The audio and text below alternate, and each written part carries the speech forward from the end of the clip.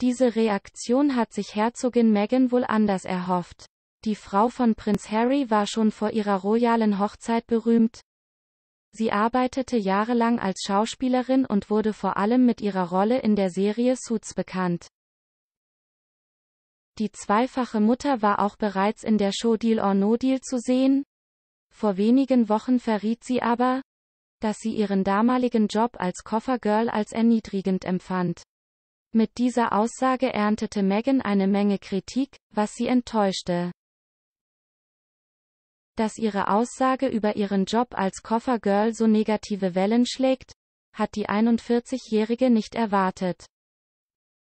Diese negativen Reaktionen sind für Meghan sehr enttäuschend. Aber sie hat schon vor langer Zeit gelernt, sich nicht zu sehr davon beeinflussen oder demotivieren zu lassen, berichtete eine Quelle gegenüber US Weekly.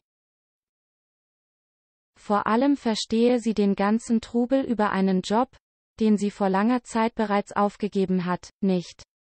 Sie weiß, dass es bestimmte Kritiker gibt, die alles tun werden, um sie auf jede erdenkliche Weise als Heuchlerin darzustellen, merkte der Insider an. Megan hatte in ihrem Podcast Archetypes auch klar ausgedrückt, dass sie damals froh über diesen Job war. Am Ende habe ich die Show verlassen.